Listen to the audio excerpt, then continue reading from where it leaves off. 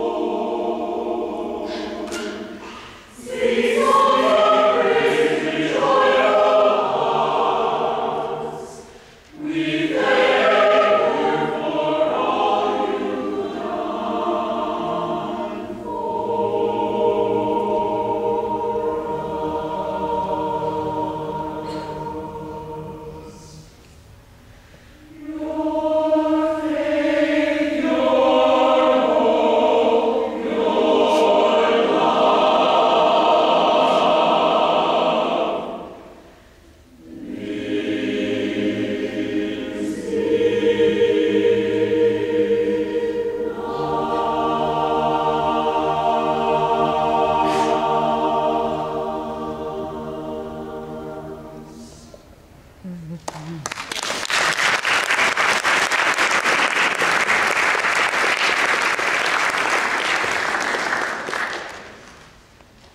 we close this evening, we close with a piece. By the way, how many of you sang this at the close of your round? All right. That's a few of us. So it became rather much a tradition for us, and we close tonight with a beautiful piece based on Revelation 22 by Paul Manz. E'en so, Lord Jesus, quickly come.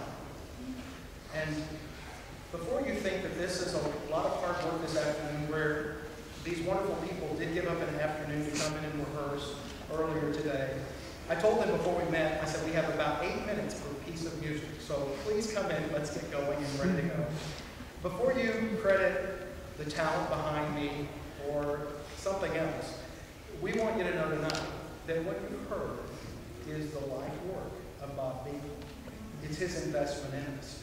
And while we're deeply appreciative to have a wonderful audience and have you be a part of it and friends and family gathering, what you've heard tonight is his word, his leadership and his legacy. And now we close with a piece so many of us have closed concerts in the past. Even so, Lord Jesus